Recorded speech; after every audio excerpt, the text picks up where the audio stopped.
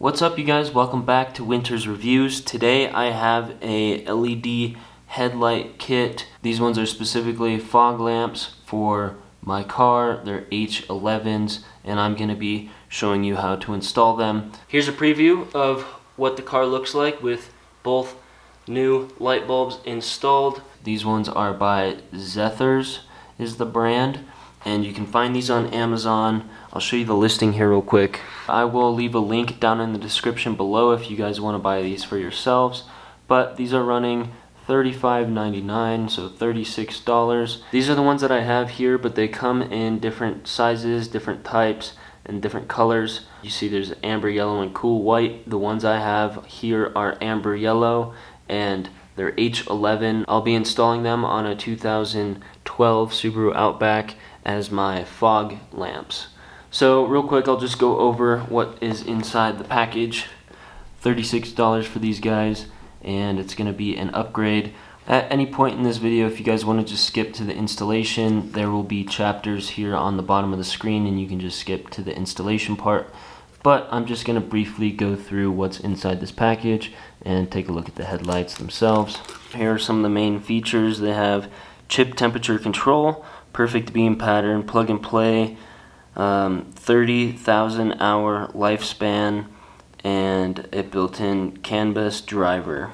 Inside the box we have a little user's manual and that's going to just show you some of the specs and how to install the headlights. And right here are the headlights themselves the bulbs.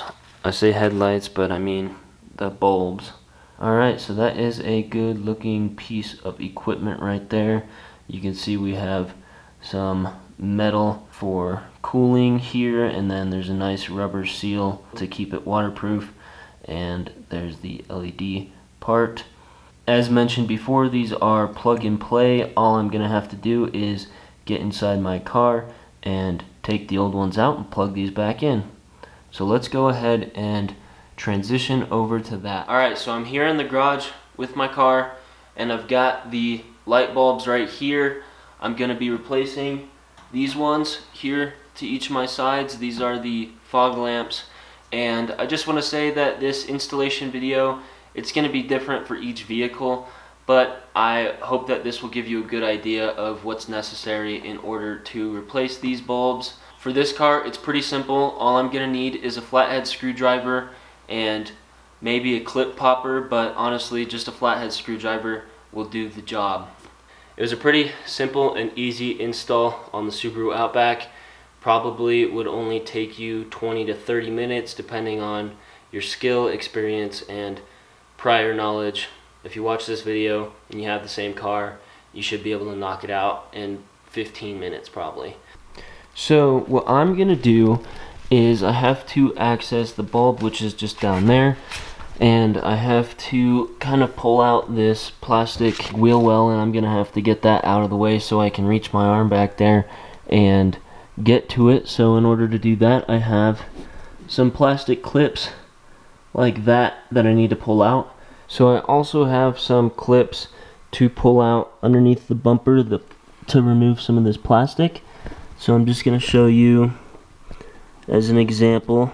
It's the same kind of clip for all of these, but all I have to do is get under that circular part and kind of twist the screwdriver to pry it and it's definitely more difficult when I have dirt inside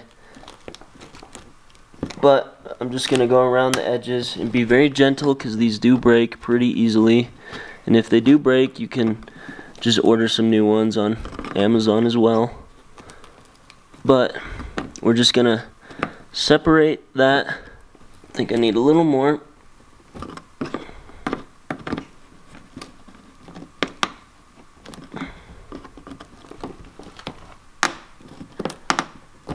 And at that point you can should be able to grip it with your fingers and kind of wiggle it out. And now the clip is out and you can see kind of how that works. So I'm just going to do that with maybe I'll probably pull that one out as well And then a couple of the ones in the wheel well.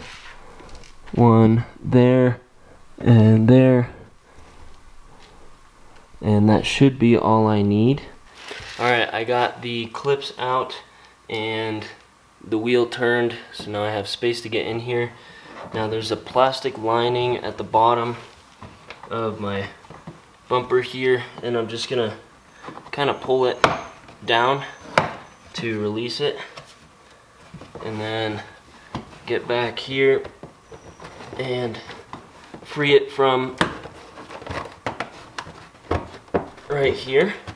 So what I did was pull this plastic liner out from the lip of this plastic bumper and you can see now I have access and you can see the bulb inside there.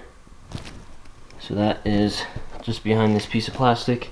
And on the under underside what I did was just pull that down out of the lip as well. You can see where the two clips were. So when I pull back this flap you can see where the bulb is right there. And what I'm gonna do is grab a hold of the back of it and twist to release it. It'll only twist one way so you don't have to worry about twisting it the wrong way. It shouldn't be too hard to twist and release but now you can see the bulb is free but it's still connected to a wire so you don't want to just yank on it. So there's a little clip. This red piece is the clip and all you have to do to remove the old one is press on this tab and pull out and that's specifically for these H11s each each different kind of bulb is slightly different but that's the idea. Just like that that's where it attaches. Now we'll grab our new bulb. Alright we've got the new H11 bulb and the old one right next to it. As you can see they are the same connections. The new one is slightly bulkier, but really not by much. So this old bulb is a Philips and it says 55 watts. This new one is a 60 watt bulb, so it's not a big difference. Should be fine since it's LED. So right here gives you a better view of this wire and the connector since it was hard to see before. One thing I want to mention is that inside this connection on your car there's a little see that red gasket there that is going to seal it from water. When I pulled out the bulb it pulled out that gasket. So just double check and make sure if there's not a gasket in it already then you're probably good. But if there is make sure it stays in there and you don't lose it. So what you do is just simply plug it in like that. Make sure the new one snaps in. What we can do at this point before installing it and buttoning everything up is I can turn my light on and just check to make sure that this works. Alright, and as you can see, it works. It's a very cool yellow color. So we're going to go ahead and finish installing it and then I'll show you what this one looks like compared to the stock one on the other side. Now to get this back in, I'm going to grab a hold of that light again on the back and stick it in that hole. And then kind of twist it around until it locks in. Boom.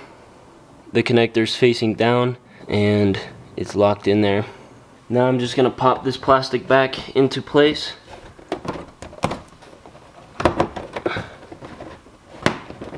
And then I can put the plastic clips back on and then do the other side the same way. We've got the new LED light here on this side. You can see it's definitely more yellow than the original one, which is right here.